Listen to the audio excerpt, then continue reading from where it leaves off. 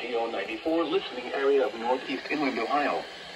During potentially dangerous weather situations, specially built receivers are automatically activated to warn of the impending hazard.